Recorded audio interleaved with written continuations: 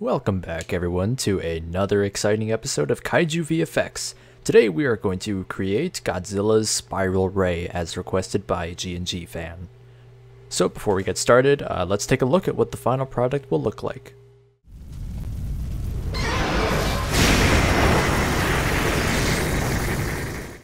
So as always, I've got our footage uh, keyed out, ready to go right here. We've got our color grade layer, we got Godzilla base and uh, our sky background. So just to get started, we'll disable the color grade so we don't have to deal with uh, some odd looking colors. And so we have our stop motion here of Godzilla unleashing his spiral ray. So first we're going to create a new black solid. We'll hit control Y and we'll call this ray. And I'll make that the right size for our composition. Okay, here we go. So now we're going to add a plugin from Video Copilot, uh, Saber, and all the plugins that I use, which this one is free, are in the description down below if you want to try them out for yourself. So first things first, we're going to change the blending mode of this layer from normal to screen. And let's go to when Godzilla first starts to fire the beam. So we'll just go to that final frame right there. And we'll drag this layer back there and we'll position the end of the laser core and the start at Godzilla's mouth. Get that positioned how we like. It will increase the size quite a bit. Something like this for now will work. And we'll make this sort of a reddish orange color to match Godzilla's spiral ray. And uh, I'm not going to go entirely through the process of creating the uh, main part of the beam because this tutorial will focus on the spiral aspect of the beam because that's what you all want to see how it's made. So if you want to see how to create the general shape of Godzilla's atomic breath, uh, please refer to the last Kaiju VFX tutorial where we covered uh, Godzilla Millennium's atomic breath, and that all can be applied to this, uh, creating the beam. Obviously, I'll have some different distortion settings involved, as well as a different color, and you're free to play around with that however you like, but I'll just speed through this real quick.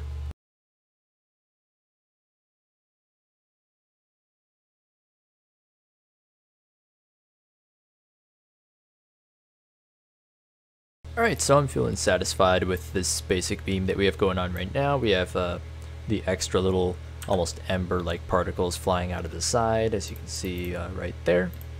Uh, we have our beam right here with uh, some distortion on it, as well as a turbulent displace to make it a little bit more wavy and animated, as you can see there. So next what we're going to work on is obviously the spiral part of the ray. And to do this we are going to create a new composition we'll just call this spiral. And we'll unlock the aspect ratio for this comp. And we'll keep the width at 1920 for now but the height we'll just multiply that by 5 so now we have this super long and tall composition. So what are we going to do? Well we're going to add a new solid but we're going to keep this solid 1920 by 1080 just for rendering sake and we're going to add an advanced lightning effect to this. So as you can see, we've got our basic lightning effect here. We can change it from direction to strike, which is what we want. Glow options, we will turn the glow opacity down to zero because we don't want that nasty, ugly glow that the advanced lightning effect comes predated with. Uh, so let's tinker a little bit more with this lightning beam effect. We'll turn up our aspect ratio so we can see what we're doing. We're going to the core settings. Uh, we'll bring up the core radius to maybe 7. It looks good. We'll bring up the opacity to 100. We will go into the turbulence here. Turn that down a tad. We'll also bring down the forking to just 38. Looks fine for now. Uh, decay, we can just leave that about there. Alright, that's looking okay. So well, actually, maybe we'll bring down the turbulence a little bit more. That looks better.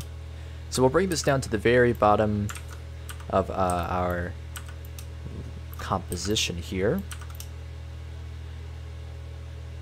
Just somewhere around the bottom. And we will move the endpoints of this lightning to sort of this general diagonal position. And actually what we want to do is uh, have the endpoint in the Y come up to where the uh, anchor point for uh, the top right corner of the composition is. So we'll just move that right on top of there. And we want to do that for the bottom one as well, so we'll just bring that right about there. That all looks good. So we'll duplicate this layer, and uh, we will uh, check out the position of this first one here, and we will check out that Y position, and we will essentially move this lightning up and we'll play around with the conductivity state so it looks a little different. And uh, you might be seeing the gist of what we're doing here. So we're gonna do that a couple more times and just uh, move the lightning to start at the top of every other bolt. And we'll change the conductivity state on all these maybe we'll bring up the uh, decay on a couple of these just a little bit. And we can even play around with the type, maybe make them two-way. That looks decent. So yeah, I'll just play around with these for a little bit here. Alright, you know, I'm feeling pretty okay about this now, so let's uh, select all these and pre-compose. And we'll call this uh, Spiral Comp 1. So now we have this pretty elongated composition full of lightning bolts and we're gonna copy this and paste it on our main composition here. And we'll actually go in here and increase the duration of this layer. I forgot to do that initially. So we'll just have to change this to about four seconds just for the sake of giving us time to work. So if we drag this layer up, you can see our lightning bolts right here throughout this composition uh, so what we're going to do, we'll solo this layer for now, and we're going to add a CC cylinder effect. And you can sort of see what that's starting to do. So we'll uh, bring up the radius, we'll scale this down a bit so you can see what we have. So yeah, now that's created this general sort of spiral of lightning, and because we put those lightning bolts uh, in the exact same uh, starting point, so to say, in the Y position, uh, the ray looks pretty much as a consistent lightning spiral throughout the entire uh, cylinder here. So let's unsolo that and let's get rid of the beam particles and the shockwave uh, just so we can render a little bit faster. And we'll play around with the rotation of this spiral until we find something so as you can see right now, uh, the more that we rotate this uh, layer of cylinder lightning, uh, you see it only exists within the realm of the pre-comp. Uh, and we can't really put this in a pre-comp to change it because then we would not be able to freely rotate this uh, spiral in 3D space. So what we're going to do actually is we're going to bring the scale of this layer back up just to 100 and we're gonna push the spiral back in Z space. So just something like that. And now we can rotate the spiral freely without having to worry about uh, the confines of the pre-comp. So we'll play around with the radius of this perhaps, as well as the position. And we'll just keep rotating this and playing around with it until we find a position where it sits just nice on our uh, ray. Alright, I think that's looking pretty good. So, as you can see right now, uh, there's some odd shading going on in the lightning here, and it also exists in front of the beam when it should be spiraling behind it, such as right here. So the way we're going to fix that is we're going to go into the shading area here, and we're going to turn up the ambient all the way just so we wind up with this perfect white beam. And for safety's sake we'll also change the transfer mode of the layer from normal to screen. And we'll move that below our color grade. So next we're going to make this lightning really start to pop. So we'll solo the layer and we will add a glow effect.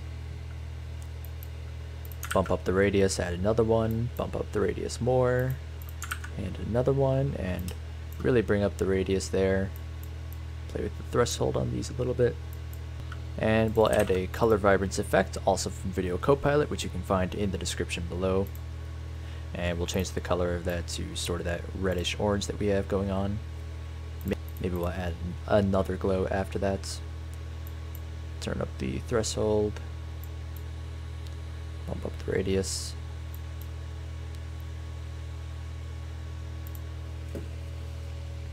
So now we're really starting to get somewhere with the spiral. Uh, but as you can see, it just sort of sits there right now and looks super awkward. So what we're going to do is we're going to go to the beginning of the layer here and we will set a keyframe on the rotation Y of this cylinder and we'll go to the end of the composition here and we'll just change this to maybe 7 times 28 degrees. And that doesn't look like it did anything initially, but if you scrub through the layer now, the cylinder rotates. So it sort of gives the illusion that the spiral is uh, moving along the beam rather quickly here. And we'll probably play around with the rotation settings of this just a little bit as we go along here. Alright, so I'm feeling pretty good about the speed that it's going at right now. Uh, so next we need to clean this up a little bit because it just sort of appears when the beam starts and it also uh, sort of materializes in front of Godzilla's face right now. So what we're going to do is we're going to uh, just close all these layer tabs right here. And we're going to copy all the glows and color vibrance for now and we'll delete those. And we're going to pre-compose this layer again. Move all attributes into the new composition, change the blend mode to screen. And we'll paste all of those effects again. And the reason that we did that is because we need to disable all these for now and we are going to draw a mask around the spiral here and we'll just make this an additive mask quickly go to that point of the ray and then add all of that back in and we'll change this mask to sort of mesh around Godzilla's mouth there. That looks good. And we're gonna feather this out a little bit. I think something 45 pixels maybe. So what this does is it allows all the effects to glow outside of the mask because if we uh, had all these glow effects in the original with the mask, as we see here, uh, then the mask would just sort of awkwardly chop off those glows, which would not look very good at all. So we'll just keep those on this layer here. Next, what I want to do is add a pixel motion blur effect, and we'll put this above all of the other layers for now. So this sort of adds some artificial motion blur to the spiral as it moves along, so it looks a little less crisp, so to say. And we can play around with the uh, shutter angle a little bit, if depending on how crisp we want it. 94, that looks pretty good. We'll also add a vector blur below all of these. We'll play around with the settings on that. Perhaps we'll change the perpendicular. We'll keep it as natural. Let's turn up the resolution so we can better see what we have. So actually let's duplicate the spiral comp layer and we'll delete the vector blur off that bottom one. And on this top one here, uh, let's play around with the vector blur as much as we want. So let's just go nuts here, so to say. And uh, we can actually bring that into the negatives so that this sort of little highlight crushing pattern is brought outward a little bit. And maybe we'll change the blur type to constant length. And maybe we'll add a radial fast blur to this as well. We'll position the center of it right about there. We'll increase the amount, maybe change the zoom to brightest. Let's see how that looks. So that's with and without that. That's looking pretty good. Uh, but another problem actually, the pixel motion blur disables masks, so the beam is still sort of just stuck there. So we're going to copy that pixel motion blur, delete it off of both of these, go back into that pre-comp and just apply it there. And we're going to have to pre-compose this layer inside of that composition and then apply the pixel motion blur. So now if we go back to our main comp, we have all those effects and retain the mask properties. So now let's take another look at what we've got. Alright, looking pretty good I would say. So if we add all the other layers, you can see what we've got going now. So next we're going to start getting into the lighting of this beam and I'll just sort of speed through this once again because you've seen me do this countless times and once again you can refer back to my original tutorial about Godzilla's Atomic Breath or even Shin Godzilla's Atomic Breath to get the idea of what's going on here. So we'll just speed through all this real quick.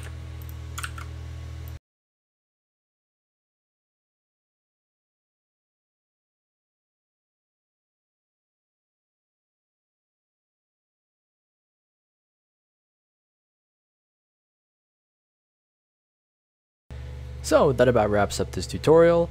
Uh, obviously there are things, you know, I don't cover in these just because they're things that I cover in other tutorials, uh, like all the stock footage fire and debris and the light and all that. But I hope that uh, this does help you out if you want to create a spiral ray effect. And uh, the same methods used to make this spiral are useful for all sorts of beams, like such as, uh, you know, specium rays that have a sort of spiral effect, or, you know, even just some gunshot effects that look cool. All sorts of stuff you can do with this, but I hope this helped out a little bit. And that about does it for this uh, Kaiju VFX tutorial. Remember to leave your requests for FX that you would like to see in the comments down below. Uh, we have lots of good stuff coming up. We have Gigan's I-Beam, we have Beam Battle, we have a Gamera Mana Beam, all sorts of neat stuff. But if you have anything else you want to see, let me know, and I'll get around to it as much as I can. So, I'll see you guys next time for whatever it is that I have to offer.